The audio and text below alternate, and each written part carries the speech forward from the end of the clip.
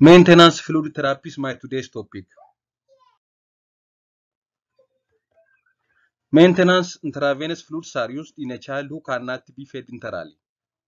Along with maintenance fluids, children may require concurrent replacement fluids if they have continued excessive use, as may occur with drainage from NG tube or with high urine output because of diabetes insipidus, for example. If dehydration is present, the patient also needs to receive a deficit replacement. Maintenance fluids are composed of a solution of water, glucose, sodium, and potassium. This solution has the advantage of simplicity, long shelf life, low cost, and compatibility with peripheral IV administration. Plus, such a solution accomplishes the major objectives of maintenance fluids. Patients lose water, sodium, and potassium in their urine and the stool, and also water is also lost from the skin and the lungs. Maintenance fluids replace those losses, thereby avoiding the development of dehydration and the sodium and the potassium deficiency. The goals of maintenance fluid include preventing dehydration, preventing electrolyte disorder and the ketoacidosis, and also decreasing protein degradation. The glucose in maintenance fluids provides approximately 20% of normal calorie needs of the patient, prevents the development of starvation ketoacidosis, and diminish the protein degradation that would occur if the patient receives no calories. Glucose also provides added osmoles, thus avoiding the administration of hypotonic fluids that may cause hemolysis of red blood cells. Maintenance fluids do not provide adequate calories, protein, fat, minerals, or vitamins. This fact is typically not problematic for a patient receiving IV fluids for a few days. A patient receiving maintenance IV fluids is receiving inadequate calories and they will lose 0.5 to 1% of weight each day. TPN should be used for children who cannot feed enterally for more than a few days, especially patients with underlying malnutrition.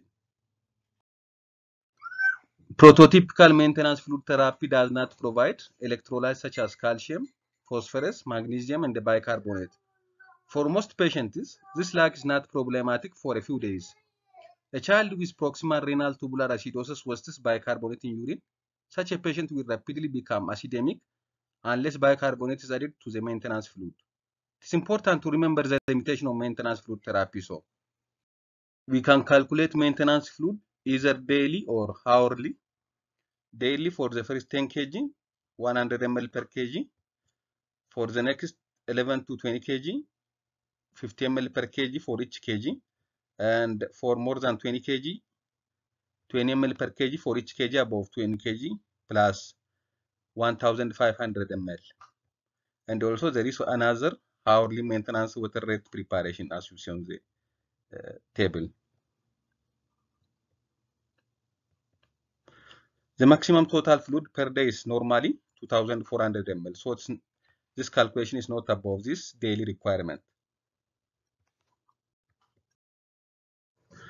When we see the composition of intravenous solutions that are uh, commonly available, normal saline has sodium and chloride, whereas ringer lactate has sodium around 130 milliequivalent per liter, chloride around 109 milliequivalent per liter, and additionally potassium, calcium, and lactate are in ringer lactate. A normal plasma osmolarity is 285 to 295 milliosmol per kg. Infusing an IV infusion or IV solution peripherally with much lower osmolarity can cause water to move into red blood cell, leading to hemolysis. Thus, IV fluids are generally designed to have osmolarity that is either close to or above 285 milliosmol per kg. So, we can give half G5 and half NS with 20 milliequivalent per liter potassium chloride, which has osmolarity of around 472 and half D5 has with that of uh, 0.2 NS has osmolarity of around 346. We can't give half 0.2% uh, NS as a maintenance fluid alone because the osmolarity is much lower than that of the peripheral IV solution osmolarity.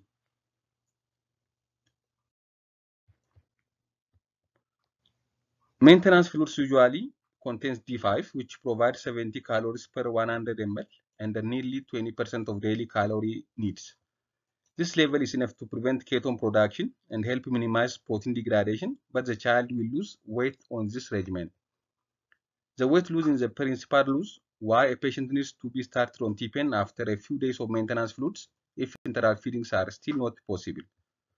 Maintenance fluids also lacking in such crucial nutrients as protein, fat, vitamins, and minerals. Regarding selection of maintenance fluids, an isotonic fluid such as normal saline and ringer lactate with 5% dextrose and KCl added if the selected fluid is normal saline is recommended for maintenance fluids. Surgical patients typically receive isotonic fluids, NS or ringer lactate during surgery and in the recovery room for 6 to 8 hours postoperatively.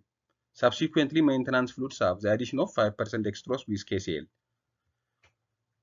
Electrolytes should be measured at least daily in all children receiving more than 50% of maintenance fluids. But overall, treatment is individualized and careful monitoring is critical. Neonates are outside the scope of this, and children with renal insufficiency may be hyperkalemic or unable to excrete potassium and may need and potassium-free fluids. They may not tol tolerate addition of potassium. Patients with persistent ADH production because of underlying disease process should receive less than maintenance fluids. Children with meningitis are fluid restricted unless intravascular volume depletion is present. The calculation of maintenance water is based on a standard assumption regarding water losses. In some patients, however, these assumptions are incorrect, so it is helpful to understand the source and the magnitude of normal water loss. The most important contributor to normal water loss is urine, which is responsible around 60%, and insensible losses are the second, 35%, and the stool is the least one. Insensible losses are composed of evaporative losses from the skin and the lungs that cannot be quantitated. The evaporative losses from the skin do not include sweat, which would be considered an additional or sensible source of water loss. Maintenance fluid needs might be increased or decreased depending on the clinical situation. Burns can result in massive loss of water and electrolytes, and there are specific guidelines for fluid management in children with burn. Sweet losses of water and electrolytes, especially in warm climate, can also be significant. Children with cystic fibrosis and some children with pseudohypoaldosteronism have increased sodium losses from skin.